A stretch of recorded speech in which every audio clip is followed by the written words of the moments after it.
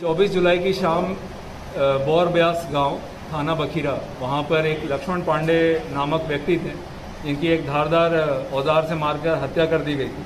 उस क्रम में हमारे जनपद की कई टीमें लगी थी। एसओजी स्वाट तथा थाना स्थानीय की टीम लगी थी। इस टीम द्वारा कुछ ही घंटों के अंदर इसके मुख्य अभियुक्त अजय राय, इनको गिरफ़्तार कर लिया गया है। साथ में इसमें जो औज़ार प्रयोग किया गया था इनको मारने के लिए, वो भी प्राप्त कर लिया गया है। और इसमें अन्य जो अभियुक्त हैं, जो नामजद अभियुक्त हैं, उनकी गिरफ्तारी हेतु टीमें लगी हुई हैं। इसमें गिरफ़्तार करने वाली टीम ने बहुत ही त्वरित काम किया है और ये एक संवेदनशील मामला था, क्योंकि ये हमारे किसान यूनियन के नेता भी थे। तो इसमें इस पूरी टीम बधाई के पात्र है कि इसने कुछ ही घंटों के अंदर इसमें पटापेक्ष किया है पूरे प्रकरण में। इसमें जो कारण निकल कर आया है, इस पूरी इस पूरे प्रकरण में, जो अभियुक्त द्वारा पूछताछ में निकल के आया है, कि इन दोनों की ज़मीनें अगल बगल थी, जिसको लेकर इन दोनों के बीच में कुछ पुरानी कसीदगी चल रही थी, और नशे की हालत में इसने धारदार हथियार से उनके ऊपर वार किया।